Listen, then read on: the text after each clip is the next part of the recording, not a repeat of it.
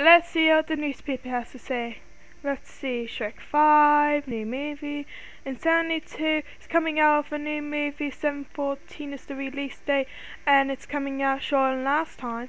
Oh no, this is horrible, I'm a dead man walking.